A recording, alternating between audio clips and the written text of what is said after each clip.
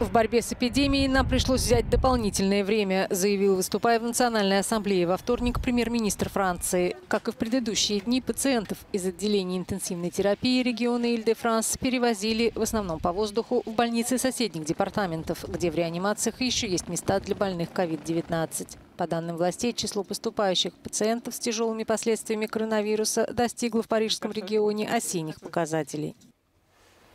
Главное оружие в борьбе с эпидемией – вакцинация, заявил депутатам Жан Кастекс. Несмотря на приостановку Франции, как и большинством стран Евросоюза, применение вакцины AstraZeneca. Министр здравоохранения Оливье Веран старался выглядеть оптимистичным.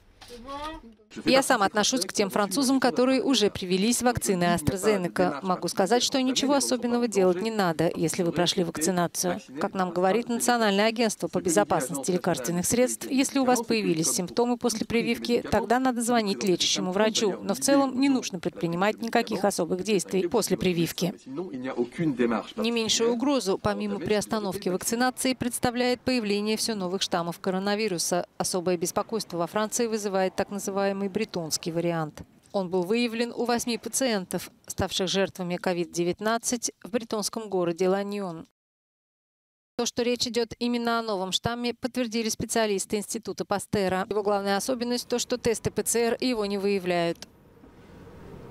Санитарные власти Франции начали расследование. Пока нет данных о том, что этот штамм более опасен или более заразен, чем классический коронавирус.